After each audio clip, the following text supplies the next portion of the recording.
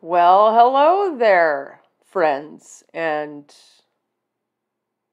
soon to be friends, and even non friends who have unfortunately decided that uh, for some odd reason that I'm an enemy that they need to watch. Praise God. Um, hello.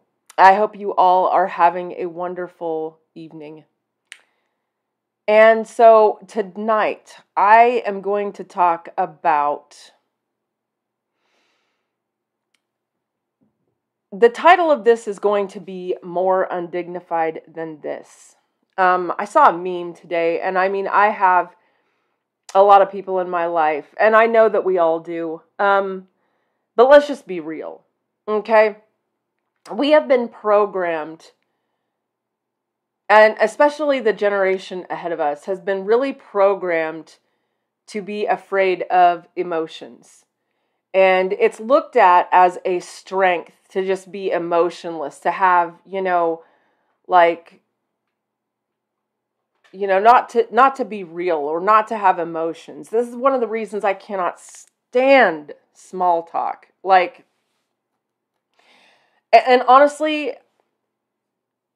I don't even like it when people ask me how I'm doing because most of the time they do not care. They just want to hear, Good, how are you? And they'll say good back, and it's ridiculous. And uh, uh I just, yeah, I, I, I'm honest with people. If, like, don't ask me how I'm doing if you don't really want to know. Like, oh.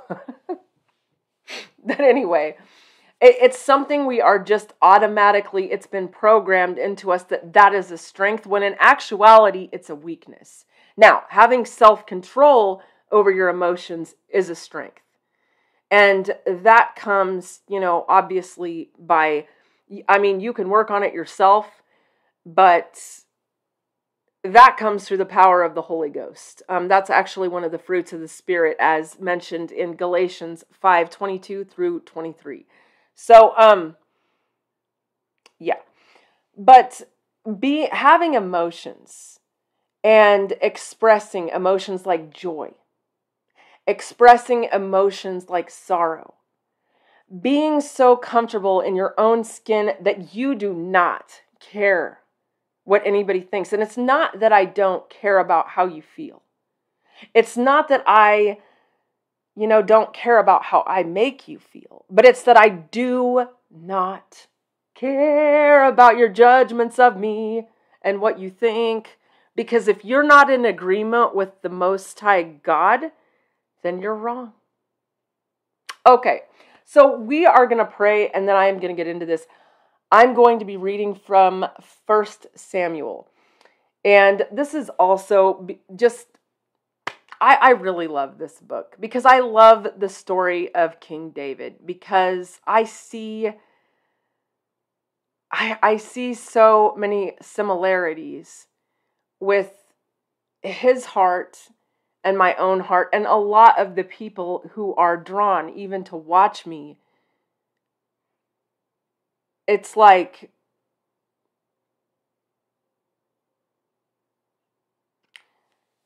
We are men and women after God's own heart. Okay, so Father, in the mighty name of Jesus, I just praise you and I thank you for this day. Lord, I want to praise you and thank you right now for all of the trials and the tribulations and the hardships and this excruciating long wilderness. I know I've done a lot of complaining about it, and I am sorry for that. I want to praise you and thank you because you have worked so much out of me during this time and you have shown me so much. And you have sharpened me and made me into made me into a weapon against the enemy's kingdom and I am so grateful for that. But I never want to be a weapon that is formed against another brother or sister in Christ because I know all too well how that feels. And so I thank you, Lord, for the people that are watching me today that have that desire as well. I thank you for helping us, God, to be weapons against the enemy's kingdom and not against our brothers or sisters in Christ, and definitely not against those who are lost, those who are searching, those who might be in the depths of Satanism or witchcraft or New Age or addiction or whatever. Whatever. Let us show them your love. Let us not be weapons that are formed against your kingdom. Because, God, I know that you will hold those who claim to be Christians much more accountable than those who do not know you. In Jesus' mighty name. And Lord, I praise you and I thank you for each and every person that you bring to my channel. I ask that you would bless them. I ask that you would meet each and every one where they are at. God, I ask that you would speak to them. I ask that you would give them wisdom and um, let them feel your love. And Father, I just thank you for your presence. And Holy Spirit, I ask that you would just get a hold of my words and that this would glorify you and bless each and every one who comes to this channel. In the mighty name of Jesus, I pray. Amen. Okay. So, as I was saying before, we all have those people in our life that you can't express emotion around. You might have people in your life where you're always expected to have a smile on your face. You're always expected to be joyful and contributing in some way. And you can't express emotions like frustration or annoyance or any of that without being judged or criticized or condemned. Because we have been so programmed to believe that keeping up appearances is something to be valued. When I think that there is a time and a place where, yeah, I maybe shouldn't, you know, lose my, you know, mind. It, it, like in front of a large group of people or, you know, whatever. it's a terrible example.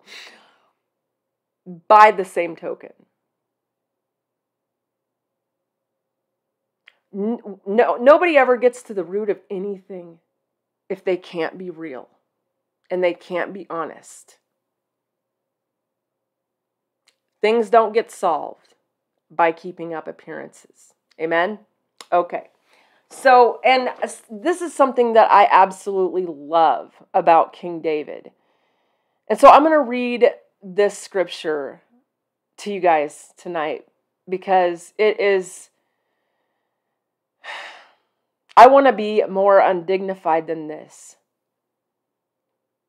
for Jesus and not care what anybody thinks. Because my purpose on this earth is to lead people into his kingdom, is to love, because those are the two greatest commandments to love the Lord your God with all of your heart, soul, mind, and strength, and to love your neighbor as yourself. And you can't do the second without the first. People think that they can, but I promise you, you cannot agape love someone without God. All right, so let's begin with this. This is now if you guys have, you know, watched me uh, the last couple of videos, um I was telling you, I think this was um, in the one called Messing with the Ark. I was talking to you guys about Uzzah and how he touched the ark. God struck him dead for touching the ark. And then David got mad at God and was like, That wasn't cool, God. And then um, he left the ark, you know, he got like, I don't even want to mess with it now. And so then it went to the house of Obed Edom, which is interesting because I'm pretty sure that, yeah, Obed Edom was a Gittite. And if I'm not mistaken, all the ites in the Bible were like had that Nephilim bloodline. And and the ark blessed Obed Edom. So to me, it says that Obed Edom had a pure heart. Even though he, his bloodline might not have been pure, his heart was. Okay, so I'm just kind of getting you guys caught up on where we're at here because I'm not going to read all of this to you, but I'm going to start in verse 12. So now King, King David was told, The Lord has blessed the house of Obed Edom and all that belongs to him because of the ark of God. So David went and brought up the ark of God from the house of Obed Edom into the city of David with rejoicing and gladness. And when those who were carrying the ark of the Lord by its poles had gone six paces, he sacrificed an ox and a fatling. And David was dancing before the Lord with great enthusiasm. And David was wearing a linen ephod, a priest's upper garment. So David and all of the house of Israel were bringing the ark of the Lord up to the city of David with shouts of joy and with the sound of the trumpet. I mean, so he's just celebrating. Here's the ark of the covenant, you guys. Yay! And he's dancing around, you know, just having a good old time. Then, as the ark of the Lord came into the city of David, Michal, Saul's daughter, who was David's wife. Okay? So King Saul's daughter, Michal, looked down from the window above and saw King David leaping and dancing before the Lord, and she felt contempt for him in her heart because she thought him undignified. They brought in the ark of the Lord and set it in its place inside the tent which David had pitched for it, and David offered burnt offerings and peace offerings before the Lord. When David had finished offering the burnt offerings and peace offerings, he blessed the people in the name of the Lord of hosts and distributed to all the people the entire multitude of Israel, both to men and women, to each a loaf of bread, a cake of dates, that sounds weird. Praise the Lord. A cake of dates. like a fruit cake. Here, have a fruit cake. Okay. And a cake. I just want to send somebody a fruit cake one of these times and just be like, I was thinking of you. Okay. then all the people departed, each to his house. Then David returned to bless his household, but his wife Michal, the daughter of Saul, came out to meet David and said, how glorious and distinguished was the king of Israel today, who uncovered himself and stripped off his kingly robes in the eyes of his servants, maids like one of the riffraff who shamelessly uncovers himself. So basically, she comes along and lays a guilt trip on King David because he looked undignified in front of these maids and these servants. Okay? So David said to Michal, It was before the Lord that I did this, who chose me above your father and all his house to appoint me as a ruler over Israel, the people of the Lord. Therefore, I will celebrate in pure enjoyment before the Lord. Yet I will demean myself even more than this, and will be humbled in my own sight and yours as I please. But by the maids whom you mentioned, By them I shall be held in honor. I mean, he told her, didn't he, you guys? I mean, he did. He was real with her. He was real with her. Like, I will become more undignified than this before the Lord. And those maids and those servants, they'll think I'm awesome. I, will, I don't care. I will humble myself. I will make myself look stupid if that's what it takes. Okay. And now, this was God's response. And the Bible doesn't say that this was God's response, but it's obvious that this was God's response. This is the last verse. Michal, the daughter of Saul, had no child to the day of her death. Because God had David's back. Because David didn't care if he was undignified before the maids and the servants. He let his joy, his dancing before the Lord be seen by all because he wanted the people to know I've got the Ark of the Covenant. You guys, this is this is a reason to celebrate.